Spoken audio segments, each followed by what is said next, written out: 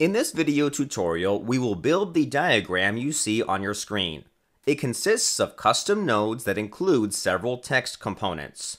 The nodes change color when the user hovers over them.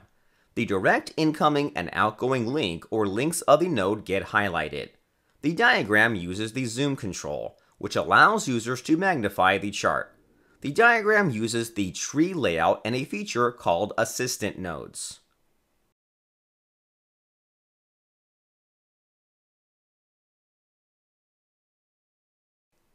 We start by copying the JavaScript files that we need in the scripts subfolder of an empty folder called the UniChart.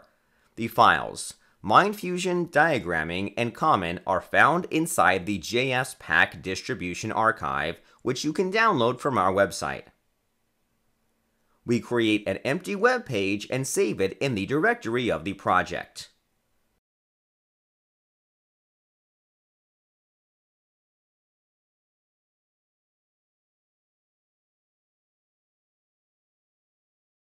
In the web page, just before the closing body tag, we add references to the two JavaScript files and also a reference to another file, UniChart.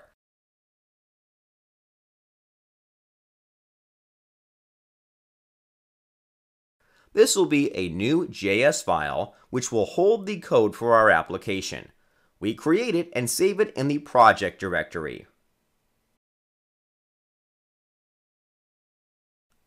Then we add a div element and make a canvas inside it.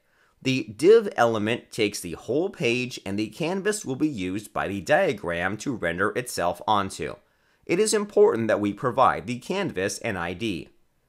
In our code behind file, we first add some class mappings. We map the names of classes that we will use so we can refer to them without the namespace reference. These classes include events, theme, style, rect, and more. Now we declare a global variable diagram, which will represent the diagram control instance. We create a new diagram using the reference to the canvas element from the HTML file. We create the diagram in the document DOM content loaded event. If we open our web page, you can see that its content is actually the diagram canvas and you can start drawing flowcharts on it. Even with the modes code we've written so far, thanks to the diagramming library, we have a working diagram application. We start to build now the Dean node class, whose instances are the nodes that build our chart. The Dean class is based on composite node, this is a class that allows nodes to be built by different elements. The first element that we use is Simple Panel. There are various components that you can use in a composite node. Stack panel, grid, text, image. Any component can have a name and has a children property. There we list its content. In our case, the simple panel has a rect inside. A simple panel places all its children one above the other we declare a grid panel, but it will be drawn onto the rect, not under it, but this is exactly what we want. The grid panel has two rows. One takes all the space, and the second is only two points wide. The little one will be used for the colored line that appears at the bottom of each node. The first row will hold a vertical stack panel, where the text components will be. Inside the grid panel, we place this stack panel with vertical orientation. We specify that it occupies the first grid row and that its orientation is vertical. The children of the stack panel are three text components.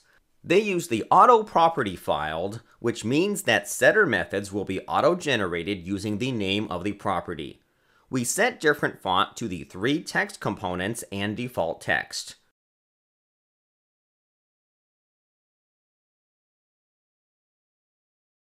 We add the second component in the grid, the rect that represents the colored line at the bottom of the node.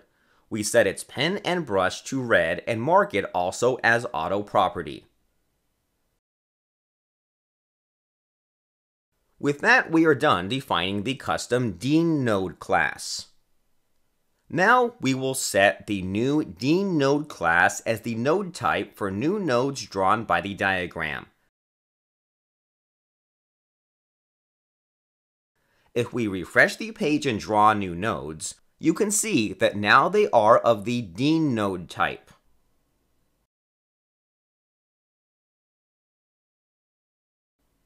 Let's create now the nodes for the university departments. We do this in a method called create nodes. In it, we have various arrays with the faculties and the departments. We create the nodes in a new method, which takes as parameters the name of the faculty and its departments.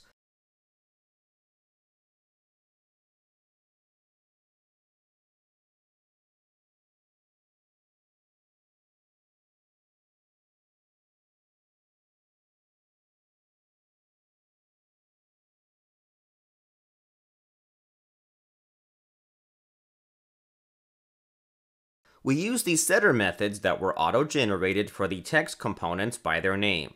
The brush and pen of the rect at the bottom are set by getting the rect component and then accessing those two fields.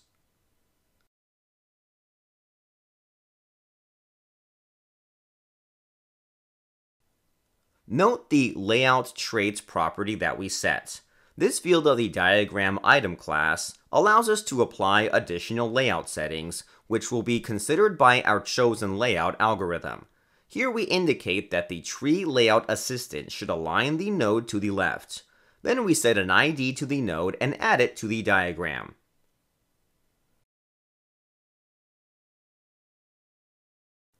After we've created the nodes for the departments, we create one more node, the node for the dean. Then we use the factory helper class of the diagram control to create links between each department node and the dean. We've created this way all nodes and links among them. Now if we refresh the page, you will see them. You actually see only two nodes, but these are multiple nodes on top of each other because we've created them with the same bounds. What we will do now is to apply the tree layout and arrange the nodes. We create a new instance of the tree layout and set its direction from top to bottom. We set Enable Assistants to True. This property, combined with the Tree Layout Assistant field of the nodes, allows us to arrange certain nodes under each other rather than following the general rule of the tree layout algorithm.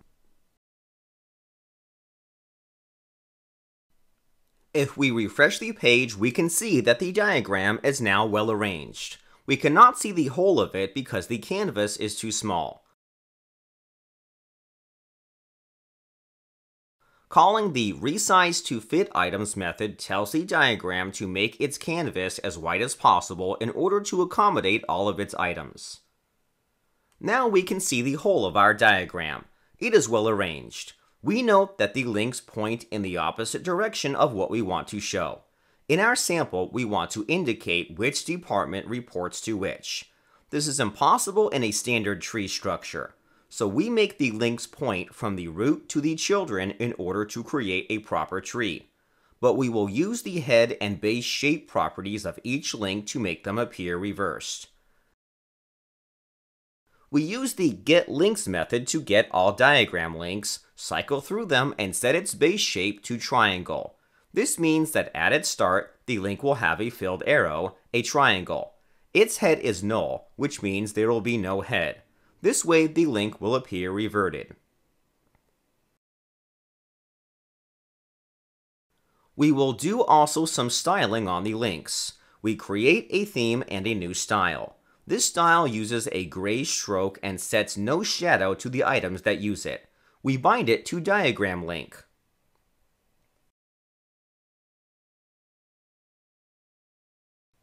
If we refresh the page, you will see that now the links look reverted and the shadow is gone. Note how the assistant nodes come under each other. In the general version of the layout, they will be symmetrical to each other and their parents. Now they are arranged as a block. Now we'll add coloring of the nodes on mouse over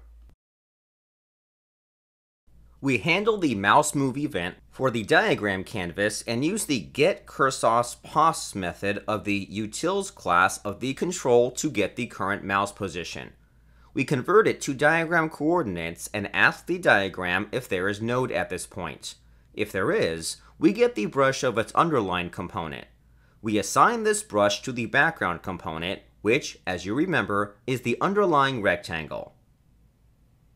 We use the get outgoing and get incoming methods of the node to cycle through all arrows that go out from it or come to it. We paint them red.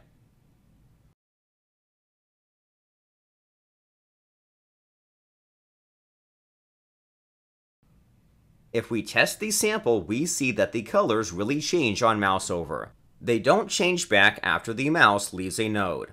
There is one other problem. The red arrow of the node is sometimes drawn before arrows of other nodes and thus get covered by them.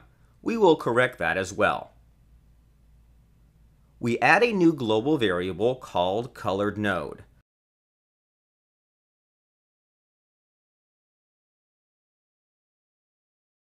We keep it in the node that is currently under the mouse cursor.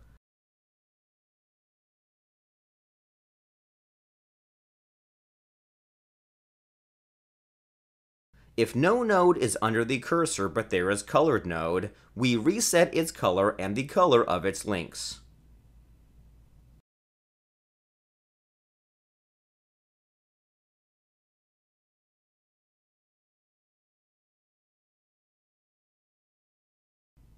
From the color overlap of arrows, we use the z-index property. We set the z-index of all diagram pointers to 0, and when a node is under the mouse, we set the z-index of its pointers to 1. This guarantees they are drawn after the other connectors are drawn. We reset its z-index to 0 when the mouse leaves the node. Now our application behaves the way we want it. Nodes and links change color when the mouse is over them and revert to their original colors when the mouse leaves. We have one more thing to add. We will add zoom functionality to the application through the zoom control. This way we can easily examine the whole graph if we want to.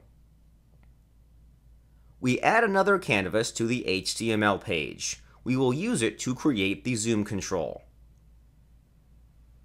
We create the zoom control and set its target to be the diagram. We set the initial zoom factor to 55.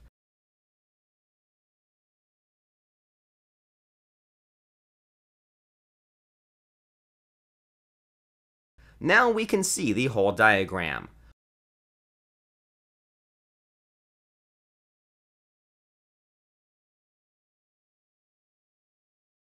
When we hover over nodes, they change color, as well their arrows. Everything works as it should. And this is the end of this video tutorial. You can find a link to download the source code of the project in the video description. Thank you for watching, and thank you for your interest in MindFusion Developer Tools.